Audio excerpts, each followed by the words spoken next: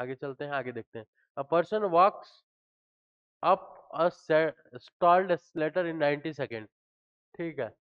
तो v1 one equals to d by ninety comma v two equals to d by sixty.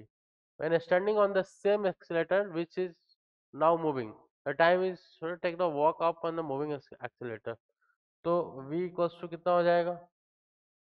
D by ठीक है।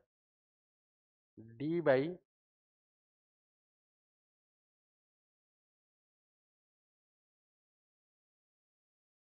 v1 plus v2 equals to D by T.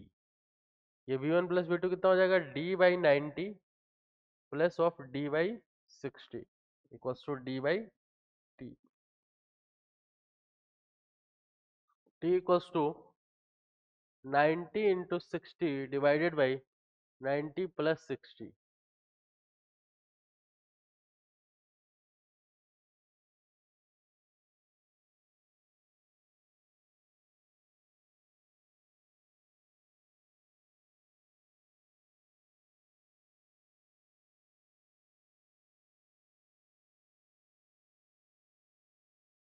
36 sorry kilometre per hour नहीं 36 second.